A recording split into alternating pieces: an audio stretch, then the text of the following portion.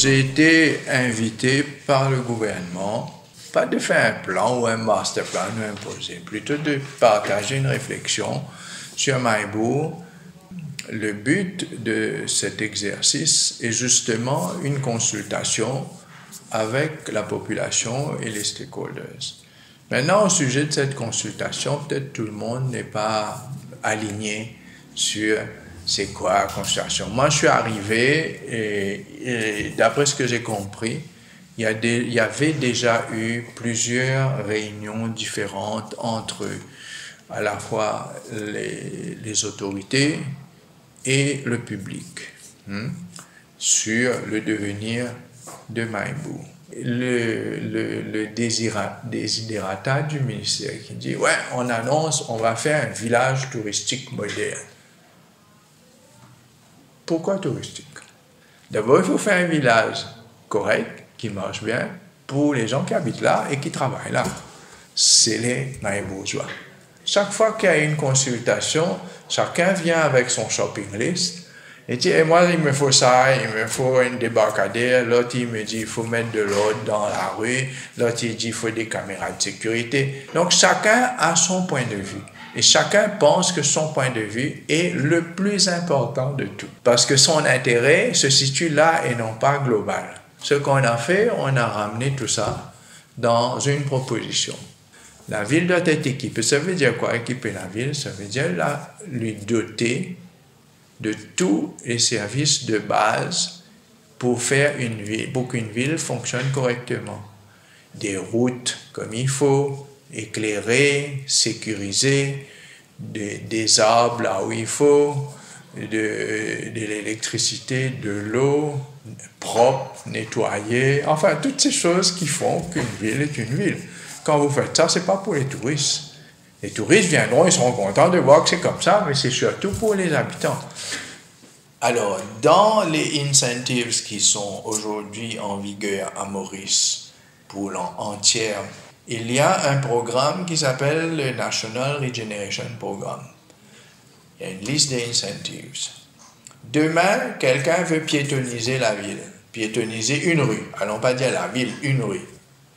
Il peut dire, cette rue-là fait 200 mètres, je veux investir dans ces 200 mètres, je veux piétoniser, je veux mettre des pistes cyclables, je vais planter des arbres, je mets des bancs, je vais éclairer, mettre des caméras, etc. Private, l'argent privé, pas le gouvernement. Seulement, je demande la permission au gouvernement et il me dit, moi je mets mon argent et cet argent-là, je peux le déduire de ma taxe. C'est ça qui est le règlement et la loi aujourd'hui. C'est ça qu'on a proposé et c'est ça qu'on propose aux gens. Ça commence par les habitants. Et puis, les habitants vont voir eux-mêmes qu'ils peuvent gagner leur vie en invitant, en accueillant des invités. Et à ce moment-là, ça va aussi apporter un volet économique à leurs activités. Mais d'abord, occupons-nous du basic. Et bien sûr, dedans, c'est protéger ce que vous m'avez dit lui-même, son patrimoine, c'est son environnement. Et des fois, c'est en ruine, le remettre en état. Tout ça, ça fait partie de l'authenticité et de la qualité de l'environnement immédiat. Si on reste dans cette idée d'authenticité, il faut contrôler la question du développement futur. Ah, vous authentique, on imagine toutes les rues sont des petites maisons traditionnelles en tôle avec un pain en rouge, avec les portes en jaune. Vous allez voir que 93% n'existent plus. On a fait le tour, on a compté les maisons, un par un. on est arrivé qu'il n'y a que 7% de ce caractère physique qui existe. Bien sûr, il y a le musée, il y a les églises, tout ça, mais je parle des bâtiments. Mais n'empêche que la perception du public et des gens fait que on a un sentiment que l'espace est resté préservé et authentique. Ce qui m'emmène à penser que ce n'est pas l'espace physique qui donne ce côté authentique. C'est plutôt ce que vous avez dit en deuxième. C'est la qualité de vie, la vitesse de la vie, l'accueil des mailles bourgeois.